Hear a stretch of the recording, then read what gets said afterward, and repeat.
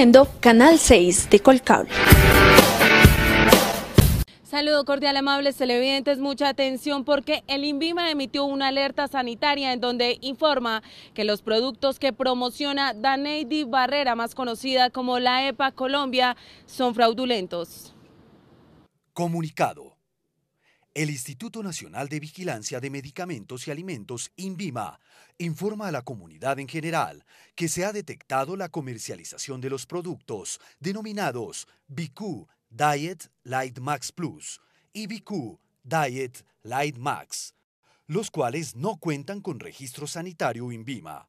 Por lo tanto, su comercialización en Colombia es ilegal. Por eso el director del INVIMA, Javier Humberto Guzmán, emitió un SOS no confiar, no creer en los productos milagro y por supuesto comprar solamente en lugares reconocidos. Es importante decir además que estos productos que no tienen registro sanitario pueden tener ingredientes que pueden resultar ser perjudiciales para la salud del que lo consume. Catherine Castaño les informa desde Bogotá.